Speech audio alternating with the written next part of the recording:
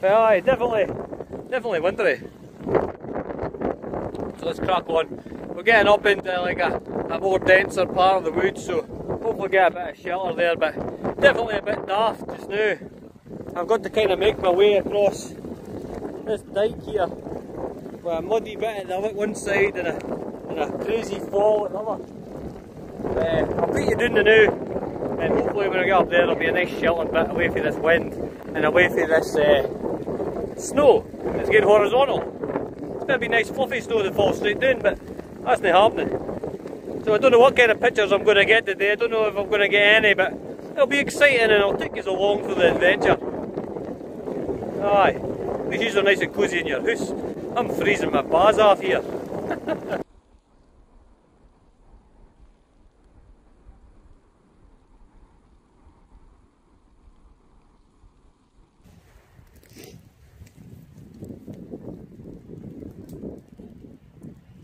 depth of field means that it gives you a contrast in your photo from focused to unfocused. So to get a lesser depth of field, there'll be just a small area in your photograph that's focused.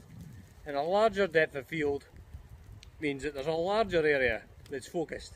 And it really is just as simple as that. Once you get your head around the, um, the settings on your aperture, then it's just a piece of cake. So we'll go crack on and we'll find an example. Or I'll get the camera out and we'll get the settings looked at. But that's in a sense, in a sense that's what it is. Shallow depth of field means there's not much in focus on your image and larger depth of field means there's a larger area that is uh, in focus and we'll look into the settings as we climb up this hill. Come on.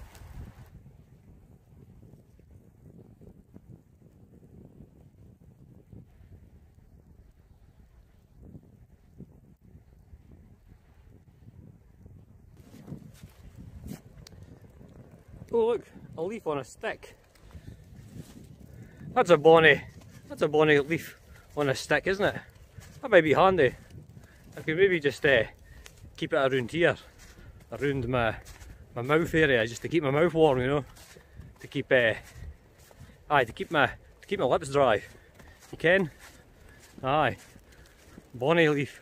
I think it's an oak leaf, but aye, definitely handy, definitely handy to hide this cold sore. I'm annoyed with it, so you guys must be annoyed with it. Looking at my face on here, speaking about apertures when I've got that hang hanging about. oh dear. Wouldn't be so bad if it was like skin coloured so you couldn't see it. But with the white snow, the black background, my white face kind of stands out quite uh, quite well with this big red cherry on the lip.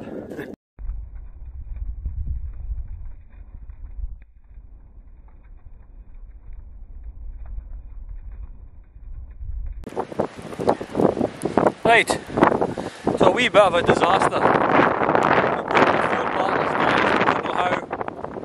Well, more than half battery when I left. But um, way up a hill in these conditions with no phone, I might have to start. I'm so annoyed because I'm not even took any photos yet.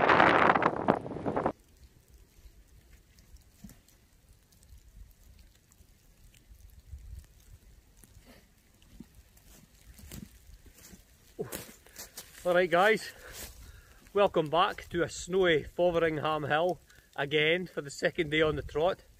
First day was a total disaster, my phone battery died so I got up to the top of the hill.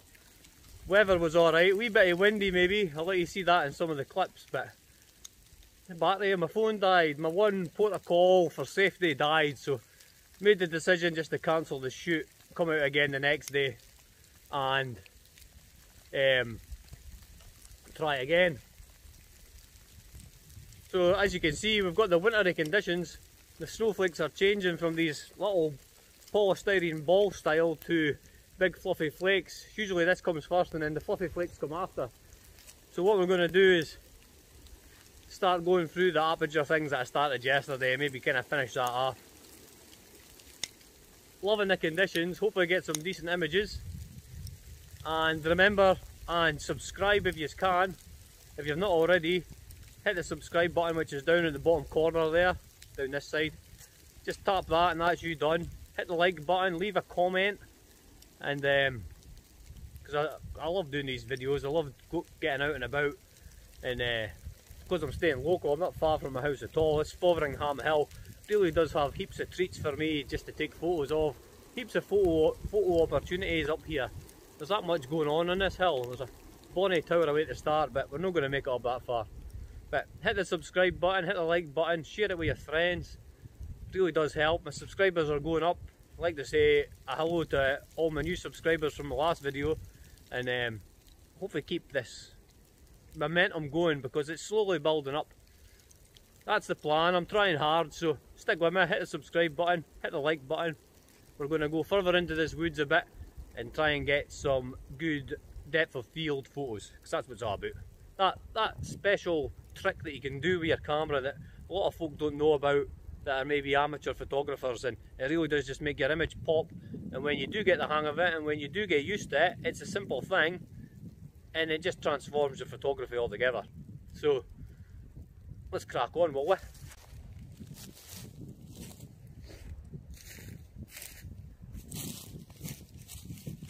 right so I have found this strange tree stump. Looks like a hand. It's like a hand climbing out of the ground, and that's kind of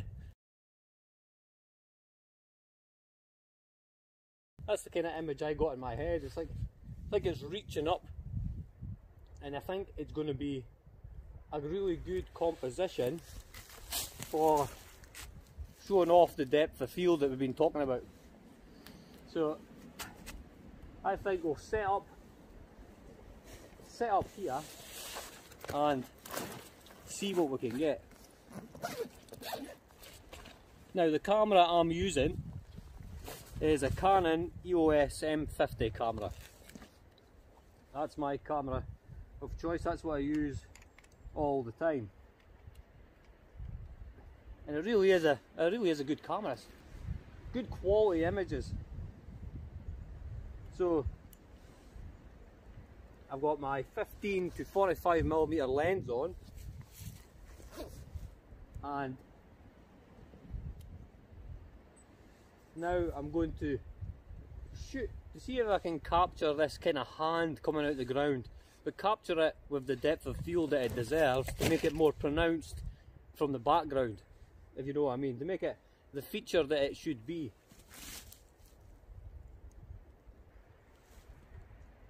so I'm on my aperture priority mode which is the AV setting on my Canon camera it will be an A setting on it on the other cameras, but Canon seems to have an AV. I'm going to drop my aperture to the lowest I can get to start off with, which is f rating 4. And remember, if you put a ruler out in front of you from 4 to 30, say roughly, the smaller the aperture number, the smaller the depth of field. So that's what you're looking for. So you can move, focus on the hand like tree stump coming out and once I've got it focused because it's the smallest part of the F rating because it's a lower depth of field it's only going to be that small area that's in focus I'm going to keep it off centre it's like a hand grabbing out the ground but because it's so light and there's a sky and everything at the right hand side I'm having that hand coming out the ground on the right hand side of the picture so I've got more of a dark background to try and get it, try and get the desired effect I want because I don't want to be burnt out from the sky over there.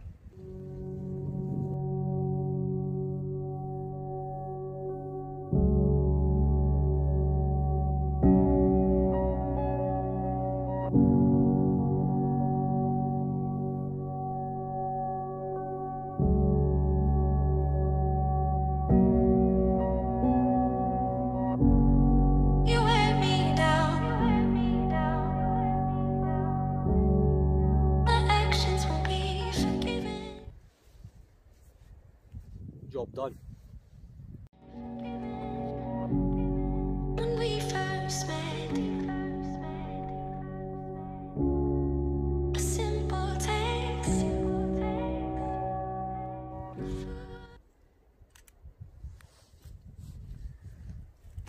These kind of things, brilliant for getting your depth of field images. Brilliant for that blurred background, because there's so much detail I can't wait to show you the actual detail of this because it's just out of this world. It's it's like a wee world inside a log. And it's just the effect that it's given.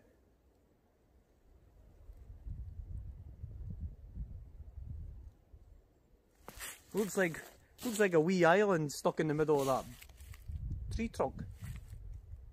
It is, it's just it's just bonny. Get what I mean? Everything everything here with this dusting of snow, it's just bonny. I could probably sit here for a while. Oh.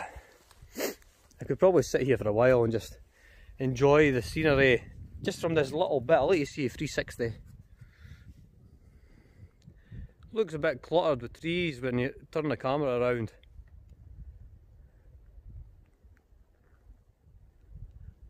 But you could sit here on this wee stump. It's kind of like a wee seat. I could maybe park my arse a bit there. Actually, I'm going to do that. I'm going to sit. Oh, aye. It's like a throne. Put my feet up. Oh. If I can get my feet up, foot sliding off. Oh, aye. Let me see what's going on. What compositions can I get from here?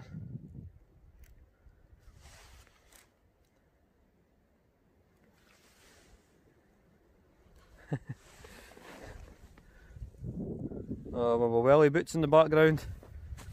what am I like? Wonder if I can sit you guys there.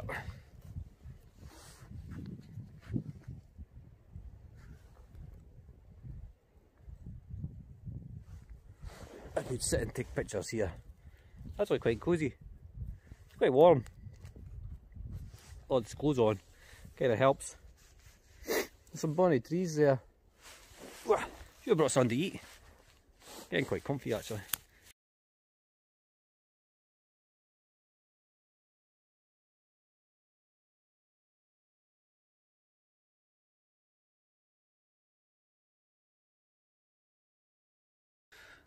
Found us another amazing shot here. There's a V shape in the tree and there's a there's obviously been a puddle of water on the inside and it's frozen over and it's just in little crystals and I think if I shoot it from the other side through I'm going to get a good depth of field on that image and it's really going to kick it off. And it's just a simple as you can see it's just a simple area. V-shaped tree. We'll have a look around the other side of it.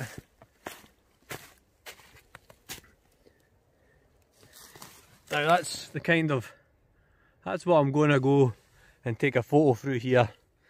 Shooting through there, I'm going to be right close with my camera down here. I'm going to be on a low aperture between f4 and f9 and hopefully the background will be blurred and maybe a wee bit of blur on this ridge at the back. That's what I'm going to try. I'm going to take a photo of it and if I can set you up somewhere looking at me I wonder if I can set you up here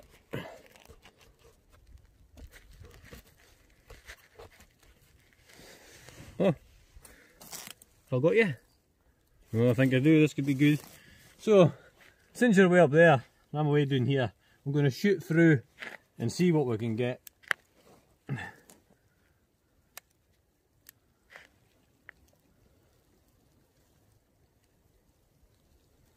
So it's 100 of a second.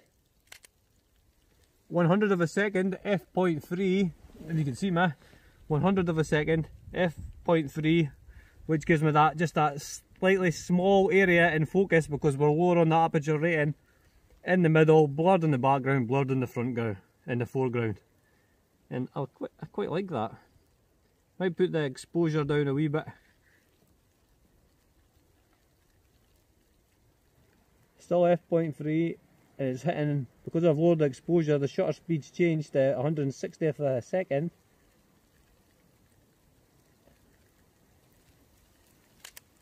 It looks like a wee world, I've got all these little bits of snow falling in.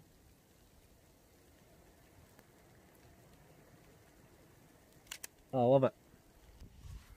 That was handy. that was a good, a good wee bit of, of photography there. Oh, if I can sort you guys out in here. Do, do, do, right, time to go home. I've got everything. Where's my... Oh yeah, near ease, near ease. Just about left the tripod. There it is, sitting there. I think that should be a decent photo that and it just another example of what you can do with your aperture setting and your f ratings.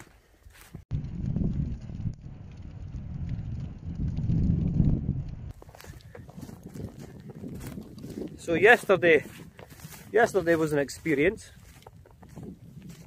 Definitely.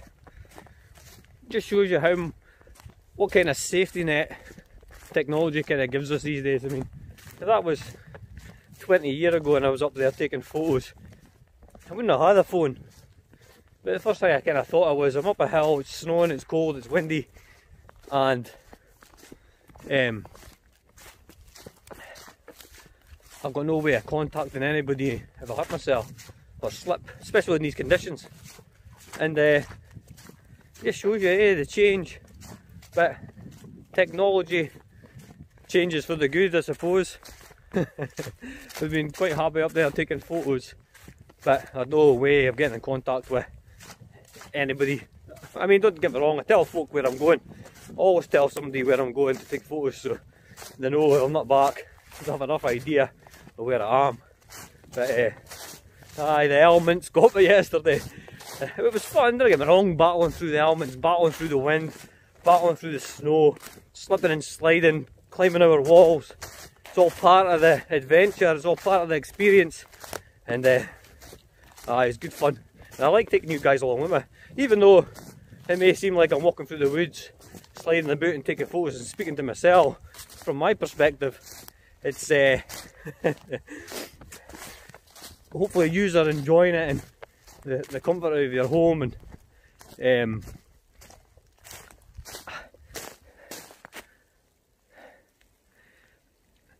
Right, I've parked my camera away. I don't want to be taking any more photos because I'm not far away from the car at all. But then you come across bits like this. Two fallen trees and a stump sticking out the ground. I mean, it's just a simple thing. You can see in the top there all these different kinds of... Oh. Do I, do I stop and take photos of this? No. I'm going to head home. I'll leave that stump for the spring. I think. Definitely. There's bits falling everywhere, look. There's another stump. But, yeah. Time to go home. My fingers are nipping. I've not invested in a pair of the fingerless gloves yet. I'm going to head to get a pair. By the time I get a pair it'll be summertime probably, but uh, might go and look at that today. See if I can find them. Photography gloves. But something's telling me to go back there. You can see it behind me. Do I go back or do I just... No, I'm just getting him. I'm getting him. Camera's in the bag. It's not coming out again. For it's Once it's away, it's away. oh. I mean, this this hill, there's, there's everything in this hill. From the start, there's a wee river. That kicks you off. You wander up through all these different kinds of woodland kind of environment areas you get to the top and the ruins and oh it's just heaps of stuff. Fotheringham Hill, Angus. Go for a walk there. Just the other side of Lure, Forfar. You're into walking, it's beautiful, it's bonny. There's different environments every two minutes. There's features and stone built features and just a really bonny place to go so aye get your get your hiking boots on Never know, I might see you up there one day.